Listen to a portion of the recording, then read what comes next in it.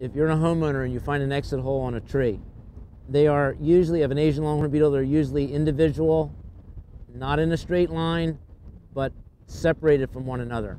To make sure you take your pencil and insert it, if it goes into about a half of an inch, then you probably need to call us. Just give us a call and, and we'll be glad to get back to you and, and hopefully it, it isn't what you have in your yard, but at least we'll, we'll know right away.